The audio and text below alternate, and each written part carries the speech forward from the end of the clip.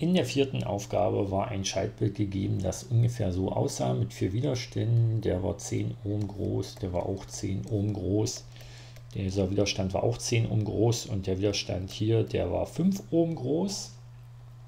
Und diese Klemmen waren bezeichnet mit A, B, C und D. Und das, was man jetzt machen sollte, war auszurechnen, wie groß der Ersatzwiderstand ist, den man sieht, wenn man von den beiden Klemmen A und B in die Schaltung reinschaut, für den Fall, dass zwischen C und D eben nichts angeschlossen ist, sondern einfach ein Leerlauf ist. So, diesen Widerstand RAB kann man recht einfach ausrechnen, indem man hier drauf schaut.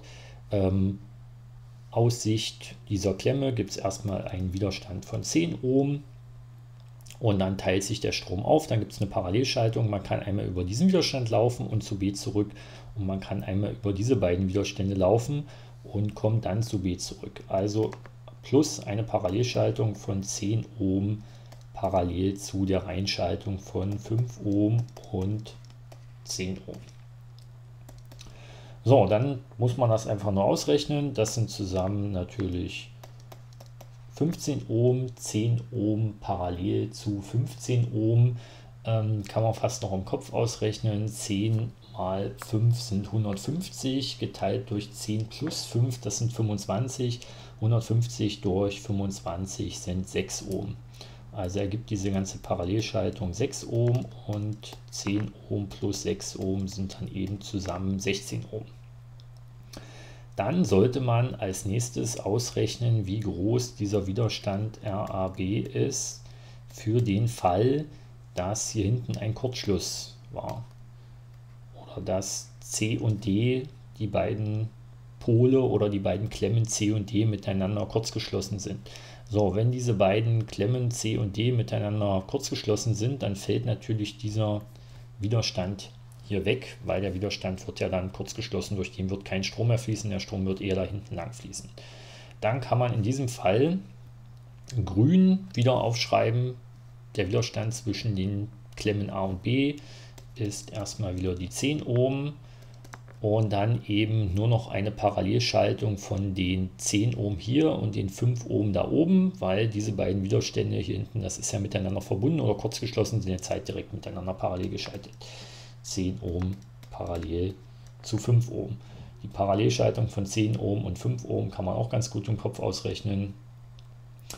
Ähm, 10 mal 5 sind 50 und 10 plus 5 sind 15 naja, 50 durch 15 ähm, sind so viel wie 10 Drittel oder 3 ein Drittel, also kommt hier für diese Parallelschaltung raus 10 Drittel Ohm.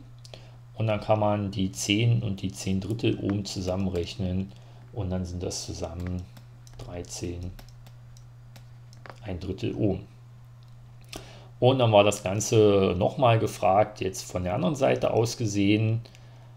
Also der Widerstand aus Sicht dieser beiden Klemmen C und D für den Fall, dass zwischen A und B nichts angeschlossen ist. Und äh, jetzt natürlich ohne diesen Kurzschluss hier. Also der Widerstand zwischen den beiden Klemmen C und D. Und jetzt kann man schauen, ähm, aus Sicht dieser Klemme ergibt sich hier erstmal eine Parallelschaltung. Wenn man über die 10 Ohm läuft, ist man direkt schon wieder bei D. Also erstmal 10 Ohm in dem einen Zweig und in dem anderen Zweig gibt es dann einen 5 Ohm Widerstand und hinter dem 5 Ohm Widerstand ähm, gibt es eigentlich nur diesen 10 Ohm Widerstand, weil wenn hier hinten ein Leerlauf ist, kann ja kein Strom über diesen Widerstand fließen. Also hat dieser Widerstand überhaupt gar keinen Einfluss aus Sicht der Klemmen C und D auf diese Schaltung, weil kein Strom hier fließen kann, wenn dort ein Leerlauf ist. Also 5 Ohm in Reihe zu 10 Ohm und das Ganze parallel zu diesen 10 Ohm, die wir hier schon hatten. 5 Ohm plus 10 Ohm als Reinschaltung. 5 Ohm plus 10 Ohm sind zusammen wieder 15 Ohm und 15 Ohm parallel zu 10 Ohm haben wir schon mal hier oben gerechnet ähm, das sind am Ende 6 Ohm. Und das Ganze war jetzt nochmal zu wiederholen für den Fall, dass jetzt A und B miteinander kurzgeschlossen sind, so dass jetzt hier eben ein Strom fließen kann von A nach B und so dass auch dieser Widerstand hier oben, der mit den 10 Ohm einen Einfluss auf die Schaltung hat. Und auch für diesen Fall können wir den Ersatzwiderstand RCD zwischen den Klemmen C und D nochmal ausrechnen für diesen Fall mit dem roten Kurzschluss hier. Dann ergibt sich natürlich erstmal wieder der gleiche Widerstand mit den 10 Ohm dort. Und dazu eine Parallelschaltung ähm, oder dazu parallel eine Schaltung, die besteht aus diesem 5 Ohm Widerstand. Und nach diesem 5 Ohm Widerstand sieht man, gibt es eine Parallelschaltung von den 10 Ohm hier und den 10 Ohm hier. Die sind eigentlich beide direkt miteinander parallel geschaltet beginnen am gleichen Knoten, enden am gleichen Knoten, an diesem Knoten hier und dazu in Reihe die 5 Ohm. Also 5 Ohm in Reihe zu einer Parallelschaltung von den 10 Ohm und den 10 Ohm dort. So, und die Reinschaltung, diese hier, dann parallel zu den 10 Ohm von dort vorn.